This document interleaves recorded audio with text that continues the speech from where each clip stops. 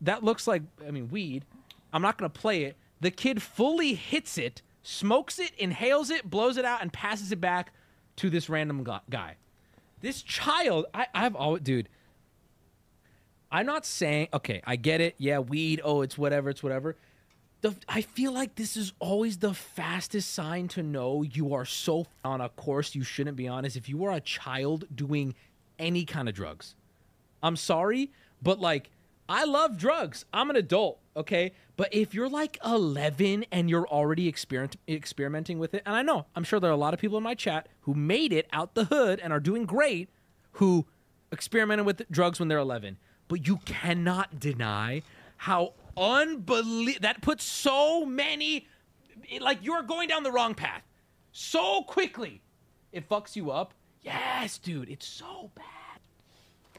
Because I don't know what what you're, trying to say. I mean, true. Because I think it's the delinquent behavior. I don't think it's just drugs. It's the it's the behavior of doing something that's wrong, like stealing or whatever, or like um, fighting or bullying. It's it's the it's the wrong behavior. It's not just drug. He goes up to someone on the street, grabs that looks like